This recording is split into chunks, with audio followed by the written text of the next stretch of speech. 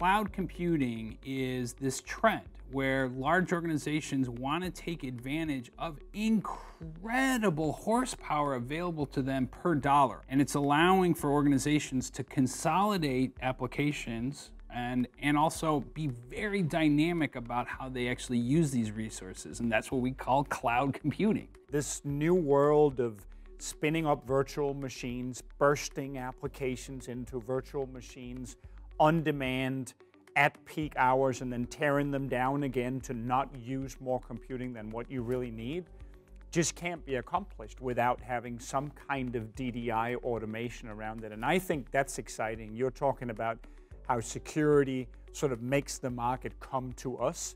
I think the same is, is true in cloud. Absolutely. I, and it's not the only sort of secular trend that we have going on that'll do that.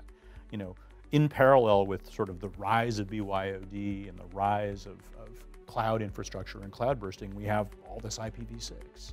And I can tell you that based on what we've been investing in, the kinds of solutions that we've been bringing to market, we have absolutely a unique opportunity to not only continue to add value there, but really change, really have a major impact in how businesses leverage cloud computing going forward. Because I think we're at the very early days yeah. of cloud computing.